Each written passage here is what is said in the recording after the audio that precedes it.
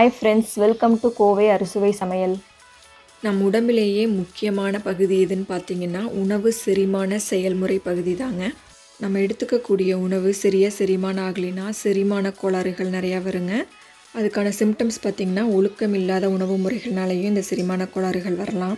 நம்ம எடுத்துக்கிற ஃபுட்டு சரியாக டைஜஸ்ட் ஆகலைனாலும் இந்த செரிமான பிரச்சனைகள் வரும். நேரம் தாழ்த்தி சாப்பிட்றதுனாலையும் இந்த ப்ராப்ளம்ஸ் வருங்க. இந்த டைஜஸ்டிவ் ப்ராப்ளம் இருக்கிறவங்களுக்கு பார்த்திங்கன்னா அதிகமாக விக்கல் வரும் ஏப்பம் பார்த்திங்கன்னா புளிச்ச ஏப்பமாக வரும். வயிறு வலி ஏற்படும். நீங்கள் காரமான பொருட்கள் மசாலா ஐட்டம்லாம் எடுத்துக்கிட்டிங்கன்னா கொஞ்சம் வயிற்றுக்குள்ளே கொஞ்சம் எரிச்சல் எடுக்கும். நீங்கள் ஏதாவது சாப்பிட்டதுக்கப்புறம் தண்ணி குடிச்சிங்கன்னா கூட தண்ணி எதுக்கு எடுத்துகிட்டு வரும். ஊசி போன பொருட்களை சாப்பிட்றது காலம் கடந்து அதாவது ஒன் டேஸ் டூ டேஸ் ஆன ஃபுட்டை சூடு பண்ணி சாப்பிட்றதுனாலையும் இந்த பிரச்சனைகள் வருங்க. நம்ம நேரம் கடந்து சாப்பிடுவதனால வயிற்றில் கேஸ் ஃபார்ம் ஆகி அந்த கேஸ் வந்து நெஞ்செரிச்சலாகவும் உங்களுக்கு வருங்க. இந்த மாதிரி பிரச்சனைகளை நம்ம ஆரம்பத்திலேயே ஹோம் ரெமெடிஸ் மூலிமா நம்ம சரி பண்ணிக்கலாம். இதுவே தீவிரமாக இருந்ததுன்னா நீங்கள் டாக்டரை கண்டிப்பாக கன்சல்ட் பண்ணிக்கோங்க. வாய்வு அஜீரணம் நெஞ்சு எரிச்சல் போன்ற செரிமான பிரச்சனையை சரி செய்ய எளிய முறையில் வீட்டில் இருக்கிற பொருட்களை யூஸ் பண்ணி நம்ம எப்படி பொடி செய்கிறதுன்னு இன்றைக்கி நம்ம வீடியோவில் பார்க்கலாங்க. பத்து கிராம் பெருங்காயம் அஞ்சு கிராம் கருவேப்பிலை பத்து கிராம் சீரகம் பத்து கிராம் ஓமம் கொஞ்சம் கல்லுப்பு எடுத்துக்கோங்க. பத்து கிராம் சுக்கு நான் நல்லா பொடி பண்ணி வச்சுருக்கேன். பத்து கிராம் வெந்தயம் பத்து கிராம் ஏலக்காய். இப்போ இது எல்லாத்தையும் ட்ரை ரோஸ்ட் பண்ணி எடுத்துக்கலாம்.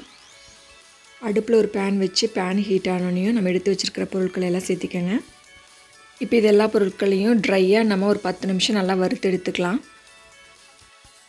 பாருங்கள் இப்போ நல்லா வறுப்பட்டுருச்சு இப்போ அடுப்பு ஆஃப் பண்ணிவிட்டு நம்ம ஒரு பிளேட்டுக்கு ட்ரான்ஸ்ஃபர் பண்ணிக்கலாம். இது ஒரு ஃபைவ் மினிட்ஸ் நல்லா ஆறட்டும். அப்புறம் மிக்ஸி ஜாரில் போட்டு அரைச்சிக்கலாம். பாருங்கள் எடுத்த பொருட்கள்லாம் மிக்ஸி ஜாரில் போட்டாச்சு. இப்போ அரைச்சி எடுத்துடலாம். பாருங்கள் அரைச்சாச்சு. பாருங்கள் இந்த மாதிரி நைஸாக அரைச்சிக்கோங்க. நம்ம அரைச்சதை ஒரு டப்பாவில் போட்டு ஸ்டோர் பண்ணி வச்சுக்கலாம் இந்த மாதிரி.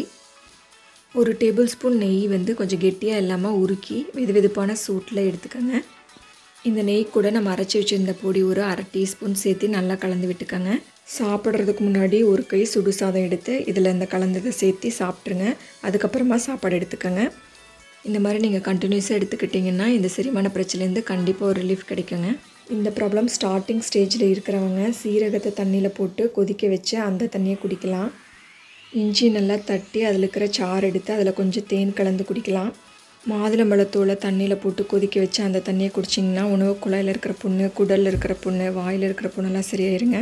இந்த மாதிரி பிரச்சனை இருக்கிறவங்க காரம் கம்மி எடுத்துக்கோங்க. வெளியே சாப்பிட்றத தவிர்த்துருங்க. ஃப்ரூட்ஸ் நிறைய எடுத்துக்கோங்க. கண்டிப்பாக இந்த பிரச்சனையிலேருந்து விடுபட முடியும். இந்த மாதிரி நீங்களும் ட்ரை பண்ணி பாருங்கள் கண்டிப்பாக ஒரு நல்ல ரிலீஃப் கிடைக்கும்.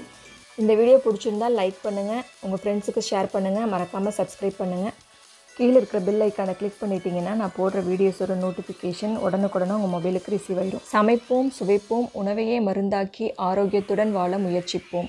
தேங்க்ஸ் ஃபார் வாட்சிங் this video thank you friends